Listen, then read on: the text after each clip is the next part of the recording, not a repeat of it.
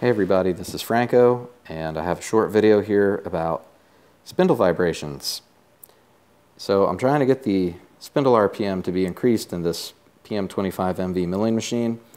Made a little apparatus in one of my other projects here to double the RPM, and it worked, it worked okay, but I noticed there was some vibrations around 2500 RPM, so I thought it might be the way that I built that apparatus, that, that uh, speed doubler, so I took it off. I've gone back to the stock motor arrangement. And I've also swapped out the bearings in this, this carrier. I don't, I don't have the spindle in here right now. I just have the splined um, upper piece that the spindle slips into. Swapped out the bearings in this or replaced the stock bearings for uh, Nachi bearings that are rated for higher RPM. And so here we go. So I, figured I'd try to start diagnosing this problem at this point. The Nachi bearings are definitely better. I can run 2500 RPM. Um, that's the max RPM with this current setup. And those bearings don't get warm. But the vibration is still here. So I know you can't really feel the vibration, but I have this app on my mobile phone that's going to show you the vibrations. So there you go. See, they show up around 2500 RPM. They disappear around 2000. They show up around 2500 RPM. So that's weird, right? What's causing that? I think I know what's causing it. There is no axial preload in the way that this assembly is put together. There's, there's no nut, there's, there's no, nothing to draw these bearings down and, and take the, the, put a, some kind of preload on them. So that, you know, bearings, all bearings have some clearance. And if, if, you could see, if you could feel this, there's, there's just a little bit of motion on those bearings.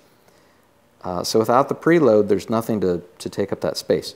So let me turn this back on, get those vibrations back. And I'm going to demonstrate that. So I have a rag, I'm going to very carefully put some pressure on this. And look at that, the vibrations go away. No more vibrations. Take it off, we have vibrations again.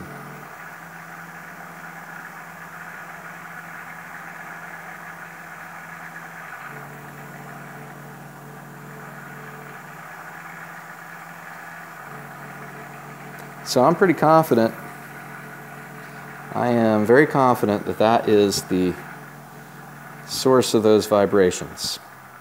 I think it's just the, the design of this, this assembly. So until I uh, get a bigger lathe, I'm, I'm not really going to be successful. I, I actually want to get rid of this, this whole apparatus because I don't really use the quill.